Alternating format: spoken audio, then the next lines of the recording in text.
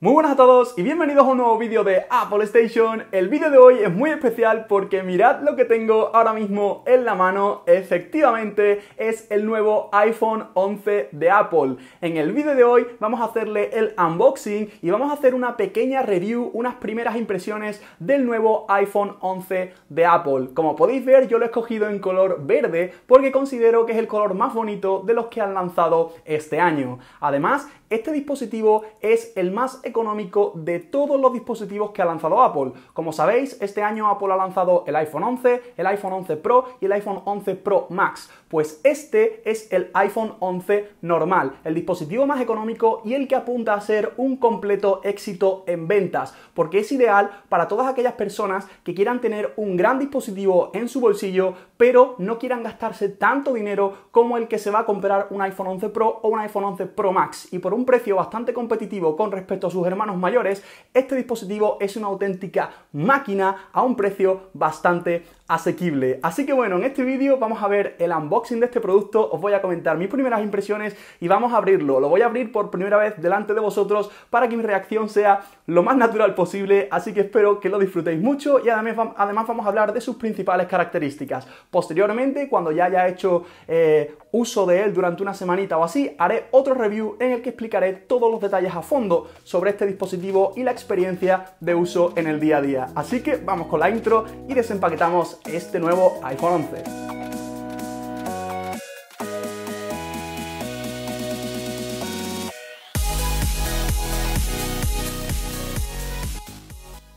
Bueno, pues vamos a comenzar con el unboxing de este nuevo iPhone 11. Aquí lo tengo yo. Como podéis ver, la caja viene bastante bien presentada con un tono azulado del mismo color que es el dispositivo. Y aquí tenéis una pestañita en la que si tiramos de ella vamos a poder desprendernos de todo el plástico que envuelve la caja. Así que ahora vamos a proceder a sacar este dispositivo de su caja. Como podéis ver, nada más abrirlo, vemos lo bonito que es. La verdad es que es increíblemente bonito deslumbra, brilla muchísimo y tenía muchísimas, muchísimas ganas de tenerlo en mis manos. Como podéis ver, es realmente precioso y ahora vamos a proceder a quitarle el plastiquito de la parte de atrás, que viene siendo un momento casi orgásmico para cualquier eh, persona fanática de los iPhone, así que vamos a ello.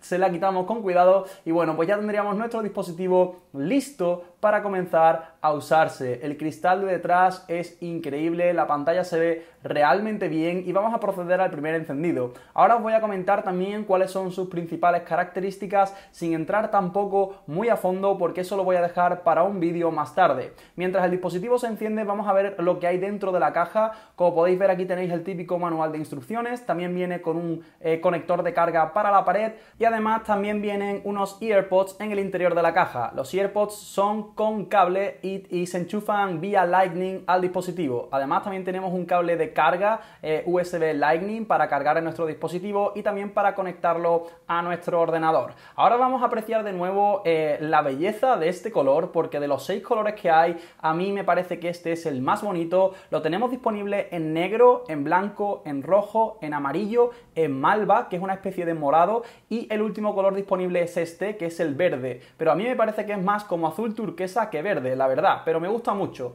Y bueno, lo que os comentaba de los, de los EarPods es que estos EarPods se conectan al dispositivo vía Lightning por el mismo conector por el que cargamos el dispositivo, por lo cual no podemos escuchar música a la vez que cargamos nuestro dispositivo a no ser que compremos un adaptador. Y bueno, en cuanto a las capacidades en las que podéis encontrar este dispositivo, tenemos 64, 128 y 256 gigas. Además, estos dispositivos vienen con el nuevo procesador de Apple A13 Bionic, que es el nuevo que se ha lanzado en este año 2019. La pantalla del dispositivo es una pantalla LCD y mide 6,1 pulgadas. Está en el tamaño intermedio entre el de 5,8, que sería el 11 Pro, y el de 6,5, que sería el 11 Pro Max, por, por lo que este dispositivo tiene un tamaño de pantalla medio, es compatible con True Tone, la pantalla tiene respuesta áptica y tiene un brillo máximo de 625 nits. Además, por supuesto, este dispositivo es compatible con Face ID. En cuanto a la cámara, bastante interesante porque tiene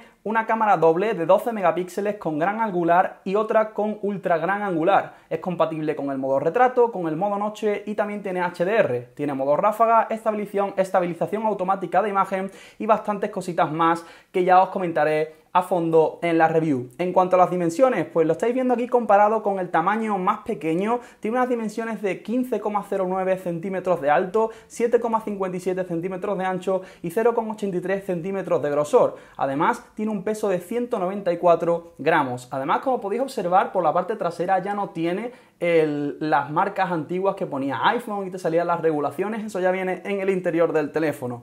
En cuanto a grabación de vídeo, este dispositivo es bastante bueno porque es capaz de grabar hasta 4K, hasta frames hasta 60 frames por segundo, una auténtica barbaridad que es bastante, bastante bueno. Además, tiene sensores como barómetro, giroscopio, acelerómetro, sensor de proximidad y también tiene un sensor de luz ambiental como ya vienen teniendo los iPhone desde hace bastantes años. Y tiene una certificación IP68, lo que te permite sumergirlo hasta 2 metros de profundidad por un máximo de 30 minutos. En este momento yo voy a colocarle la funda aquí al dispositivo y la verdad es que con funda queda bastante bien. Yo he procurado comprar la funda del color que el dispositivo y la verdad es que se ve bastante bonito y queda el dispositivo bastante bien protegido. No obstante, obviamente al colocarle una funda pierde un poco de lo que es su esencia, su elegancia. Pero bueno, eh, a mí me gusta muchísimo este dispositivo, lo recomiendo al 100% y conforme lo vaya usando ya la próxima semana os traeré un review muchísimo más completo explicando cómo lo uso en mi día a día y os explicaré también todas las características con mucho más detalle. Hasta entonces os dejo por aquí unas imágenes del dispositivo para que las disfrutéis y ya sabéis que os podéis suscribir al canal para seguir viendo mucho más contenido relacionado con Apple, con el jailbreak y con la tecnología en general.